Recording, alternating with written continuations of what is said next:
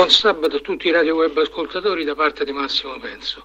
Domani ci sarà Atalanta-Roma, una partita difficilissima, in una scala di difficoltà da 1 a 10 sicuramente a 10. La Roma affronterà una squadra in salute, forte fisicamente, tecnicamente e mentalmente.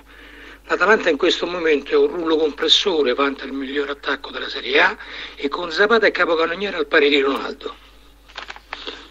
Nelle ultime sette partite ha vinto sei volte e pareggiato una con la Juventus un cammino da scudetto.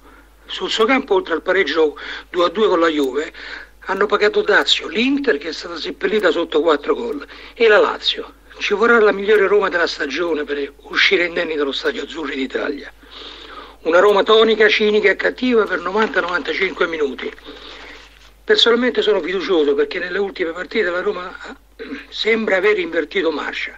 È vero che solo poche volte è riuscito a non prendere gol, ma è anche vero che in fase realizzativa ha una media di 2,5 gol a partita.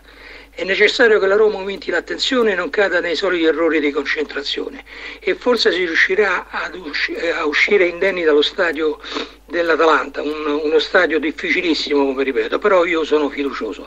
E l'importante è che la Roma dimostri sempre eh, questi eh, continui crescita, progressi che ha già dimostrato nelle ultime tre o quattro partite.